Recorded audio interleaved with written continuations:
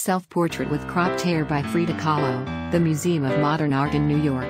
Since their marriage in 1929, Diego Rivera and Frida Kahlo had been Mexico's most well known couple.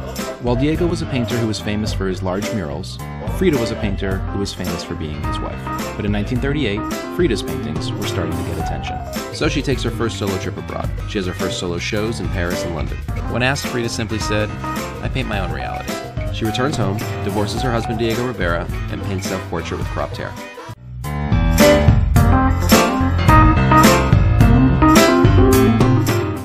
For painter Frida Kahlo and her husband Diego Rivera, Casa Azul was their country home. Look, Frida Kahlo had a pyramid in her backyard. Frida and Diego lived here from 1929 to 1954. Now the interesting thing about Casa Azul, or the blue house, is that it used to be white, but they painted it blue and red, Frida and Diego, because they believed that this reflected Mexican identity and Mexican heritage much more so than the color white.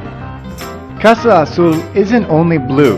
Bright colors are everywhere. Here, in certain places in her home, you'll find her handwriting on the walls. Frida Kahlo's kitchen is amazing. And inside of it, she has so many different types of pots and pans. It's a traditional Mexican kitchen, which she's painted in all these different bright colors. Frida's ashes are actually in a room right around the corner. She was born in this house, she learned to paint in this house, and she died in this house. Her ashes are in a pre-Hispanic sculpture of a toad.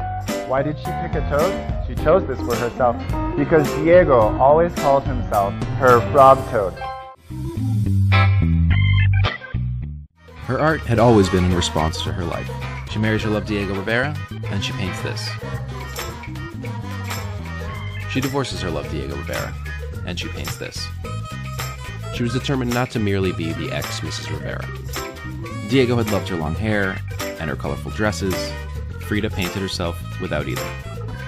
In 1940, this is how Frida saw herself. Frida Kahlo was a Mexican artist who became famous for her self portraits that were strongly influenced by her Mexican culture. Frida was born near Mexico City on July 6, 1907. Despite her childhood love of drawing, Frida Kahlo didn't always want to be an artist.